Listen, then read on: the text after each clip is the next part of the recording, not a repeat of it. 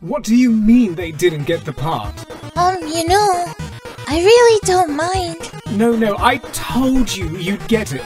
You can't back down now, darling. Okay, whatever you say. Oh, really? Well, I'll have you know, my little Starshine has more talent in one pinky than you have in your entire agency. Goodbye.